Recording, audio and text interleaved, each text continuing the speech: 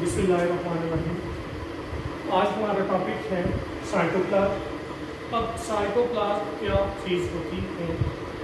सबसे पहले हमें पता होना चाहिए कि ये आपके पास क्या आ जाएगा? सेल आ जाएगा। As we know that cell is the structural and functional unit of life तो यहाँ पे जो living content of eukaryotic cell is divided into two जो लिविंग कंटेंट है यूकैरियोटिक सेल के, वो दो में डिवाइडेड है। अब दो पार्ट इसके कौन कौन से हैं? दो पार्ट हमारे पास आ जाएँगे इसके साइटोप्लाज्म प्लस दूसरा क्या चीज़ आ जाएगी? न्यूक्लियस अब यहाँ पे ये इट इज़ साइटोप्लाज्म क्या होगा? Region between the cell membrane and nuclear membrane is called cytoplasm ठीक है? अब यहाँ से लेकर, ये क्या चीज़ आ जाएगी जी? सेल मेम्ब्रेन आ जाएगी। ये क्या चीज़ आ जाएगी? न्यूक्लियर मेम्ब्रेन आ जाएगी। अब सेल मेम्ब्रेन के और न्यूक्लियर मेम्ब्रेन के दरमियान में जितना भी रीजन है, इसको हम क्या बोलेंगे? Cytoplasm of the cell it is the area between the nuclear membrane and cyto sorry cell membrane तो यहाँ पे हमारे पास ये जो लिविंग कंटेंट जो सेल के हैं यूकैरियोटिक सेल के, ये दो पार्ट में डिवाइडेड है। कौन कौन से पार्ट में? साइटोप्लाज्म और न्यूक्लियस एक तो साइटोप्लाज्म आ जाएगा, दूसरा क्या आ जाएगा? न्यूक्लियस आ जाएगा।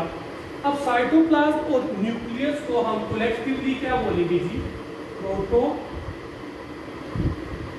प्लाज्म बोलेंगे। क्या चीज़ बोलेंगे? प्रोटोप्लाज्म बोलेंगे।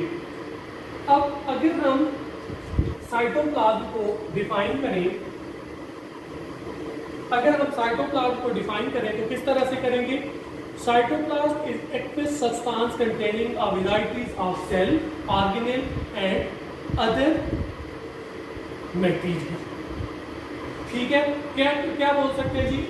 Cytoplasm is a aqueous substance containing a varieties of organelles and other structures such as waste product as well as the storage product.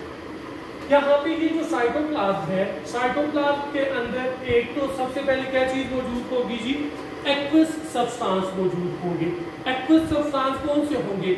आइन मौजूद होंगे, ठीक है जी?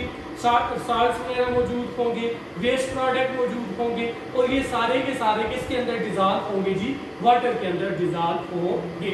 प्लस इसके अंदर वेराइटीज ऑफ़ अदर ऑर्गेनेल्स मौजूद होंगी। वेराइटीज ऑफ़ अदर ऑर्गेनेल्स यानी कि साइटोप्लाज्म के अंदर, सबसे पहले अगर मैं बात करूँ तो यहाँ पे क्या चीज़ मौजूद होगी? एंडोप्लाज्मिक रेटिकुलम मौजूद होगा। इसी के साथ साथ इसके अंदर अगर प्लांट सेल है तो यहाँ पे इसके अंदर क्या चीज़ मौजूद होगा?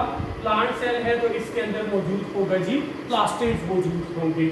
प्लास्टिक के साथ साथ यहाँ पे इसके अंदर क्या चीज़ मौजूद होगी? एंडोप्लान सॉरी माइक्रोकांडिया मौजूद होगा।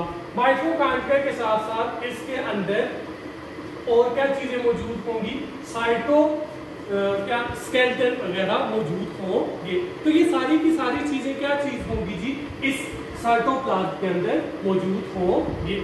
अब साइटोप्लाज्म का जो soluble part of cytoplasm is called cytosol यानी कि ऑर्गेनेल को छोड़ के जो सॉलिबल पार्ट है soluble part of cytoplasm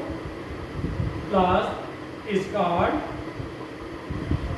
cytosol इस सॉलिबल पार्ट को हम क्या बोलेंगे जी? साइटोसोल बोलेंगे। अब साइटोसोल जो है it contain about 90 percent of water ठीक है? इस साइटोसोल के अंदर क्या चीज़ मौजूद होगी? 90 परसेंट वाटर मौजूद होगा। अब this 90 percent water dissolve biochemicals of life इस 90 परसेंट वाटर के अंदर क्या चीज़ मौजूद होगी जी? Bio chemicals of life life के जो बायोकेमिकल्स हैं वो मौजूद होंगे। अब बायोकेमिकल्स ऑफ़ लाइफ कौन से हैं? Those chemical those molecule are in which are responsible for the normal functioning of the cell या those elements are compound which are responsible for the uh, for the different functioning of the cell. Cell के different functioning के लिए या जो chemical reaction हो रहे हैं cell के अंदर उसके लिए जो केमिकल रिस्पॉन्सिबल है उनको क्या बोला जाता है? बायो केमिकल्स बोला जाता है। अब यहाँ पे हमारे पास ये जो सॉलिबल पार्ट है इस सॉलिबल पार्ट के अंदर क्या होगा? लार्जर मालिक्यूल्स भी मौजूद होंगे और स्मॉलर मालिक्यूल्स भी मौजूद होंगे। अब larger molecule make a colloidal solution दो तरह के, एक तो ट्रू सॉल्यूशन बनेगा इसके अंदर और दूसरा कोलाइडियल सॉल्यूशन बनेगा। अब यहाँ पे हमारे पास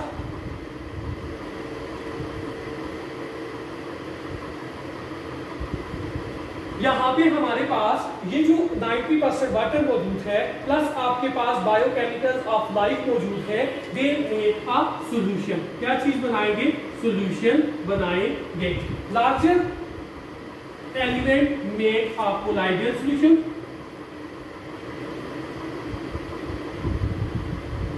और यहाँ पे जो स्मॉलर है, वो क्या बनाएँगे? टू सॉल्यूशन बनाएँगे अब यहाँ पे हमारे पास जो सोल्यूशन है इसकी दो टाइप्स हैं। एक आपके पास विस्कस होगा, एक नॉन विस्कस होगा। अब विस्कस सॉल्यूशन कौन सा होगा और नॉन विस्कस सॉल्यूशन कौन सा होगा? अब विस्कस सॉल्यूशन जो होगा वो कौन सा होगा? जेली लाइक होगा और नॉन विस्कस जो होगा वो वाटर की तरह होगा। जेली लाइक कौन सा होगा? जाली जेली लाइक वो होगा। फॉर एग्ज़ाम्पल शहद की तरह जो सोल्यूशन होगा वो विस्कस सोल्यूशन होगा। जिसको हम अगर ज़मीन के ऊपर डाल देंगे तो वो ज़्यादा तेज़ी से फ्लो नहीं करेगा, एक जगह पे जमा रहेगा। और नॉन विस्कस कौन सा होगा? वो सोल्यूशन जो आपके पास क्या होगा? जो वाटर की तरह फ्लो करना स्टार्ट कर देगा।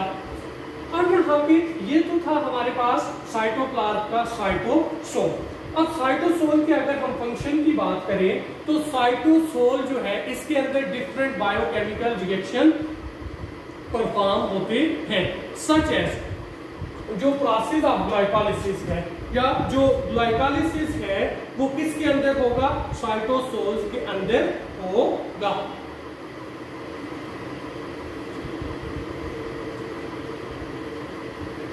साइटोसोल के अंदर क्या होगा? साइटोसोल के अंदर क्या होगा?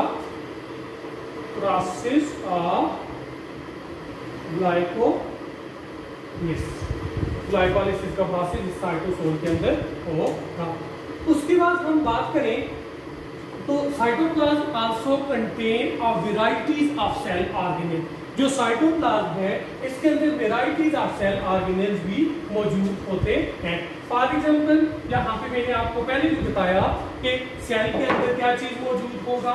सबसे पहले एंडोप्लाज्मिक रेटिकुलम मौजूद होगा। उसके बाद इसके अंदर क्या चीज़ होगा? माइटोकॉन्ड्रिया मौजूद होगा। माइट्रोकांड्रिया के बाद क्या चीज़ होगी जी? वैक्यूल मौजूद होगा। वैक्यूल के बाद क्या चीज़ होगी जी? प्लास्टिड मौजूद होगा। प्लास्टिड के साथ साथ इसके अंदर क्या मौजूद होगा? एंडोप्लाज्मिक रेटिकुलम भी हो गया। राइबो सोम मौजूद होगा। राइबोसोम के बाद यहाँ पे क्या होगा? साइटो स्केलेटन भी मौजूद होगा। ये varieties of organelles are also present in the cytoplasm अब वेराइटीज ऑफ़ ऑर्गेनेल्स यहाँ पे साइटोप्लाज्म के अंदर मौजूद है these organelles perform different function for example हमारे पास अगर प्रोटीन एंडोप्लाज्मिक रेटिकुलम की बात करें तो ये क्या करेगा जी? Protein synthesis plus lipid formation वगैरह करेगा। Mitochondria is also known as a power house of the cell ये पूरे के पूरे सेल को क्या करेगा? एनर्जी प्रोवाइड करेगा। वैक्यूल जो है, ये स्टोरिंग वैक्यूल भी होते हैं और कॉन्ट्रेक्टाइल वैक्यूल भी होते हैं। प्लास्टिड आपके पास क्या आ जाएँगे?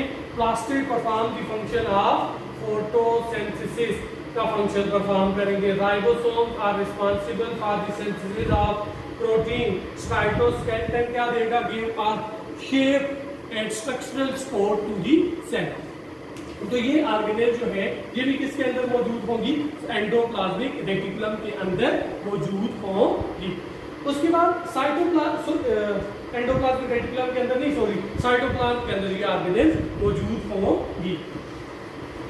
अब फ़ंक्शन ऑफ़ साइटोप्लाज्म की बात करें।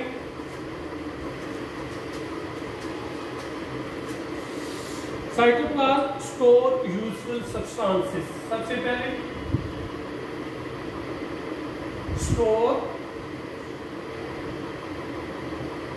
यूज़ फुल सब्सटेंसेस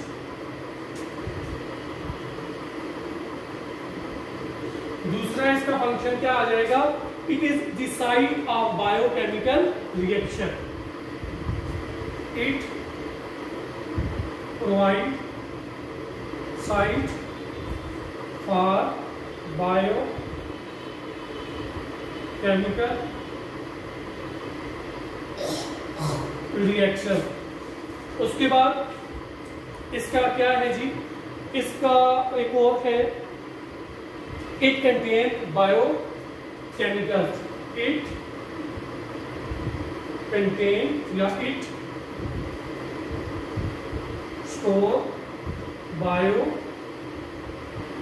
केमिकल क्या स्टोर करता है जी? बायोकेमिकल स्टोर करता है।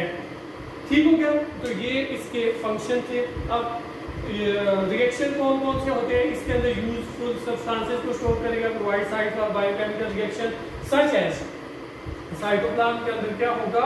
ग्लाइकोलिसिस ग्लाइकोलिसिस रेस्पिरेशन का फ़र्स्ट स्टेप है? वो इसी के अंदर होगा। इसके अगर किसी चीज़ की समझ ना आई तो आप मुझसे पूछ सकते हो। Thank you very much